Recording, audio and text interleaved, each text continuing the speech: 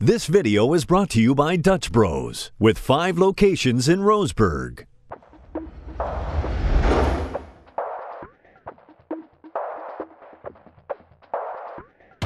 It's here and we played against you